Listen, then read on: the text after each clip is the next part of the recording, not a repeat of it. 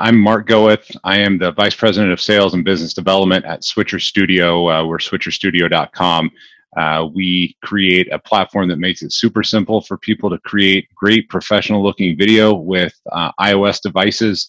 Uh, we're trying to disrupt the video production market, make it super simple for anyone, uh, regardless of their skill level, to create great video, whether that's live or recorded content. So uh, check out uh, the platform available at switcherstudio.com when we think about live video, uh, for the most part, from a social perspective, we think about one camera looking at it.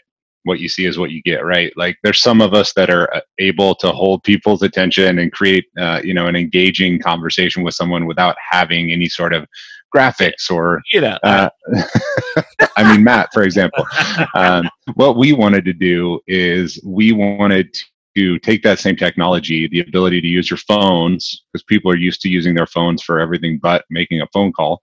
Um, you know, we're, we're always shooting video with it. Uh, you know, the cameras and stuff are getting better and better uh, on these devices, as was evident uh, in the most recent uh, iPhone launch.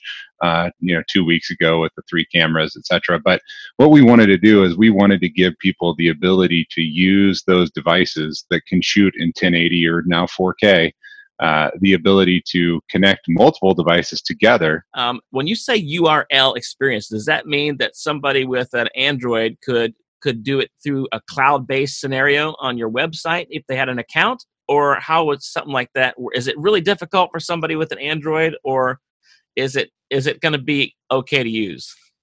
Sorry, so, the question. No, people are going to wonder. It is. It's a good question, and uh, people definitely uh, ask it a lot. So everything has to start with at least one I- iOS device. So in order to go live from Switcher, you have to have at least an iPad, an iPhone, or an iPod, one of those three, um, because it has to start with a an iOS device.